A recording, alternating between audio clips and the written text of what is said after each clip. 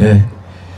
자 이번에도 또 아주 키가 훌쩍하신 또 우리 예, 가수가 또 서울에서 오셨나 하여튼 우리 미스 코리아 출신이신 우리 윤지영 가수가 있습니다.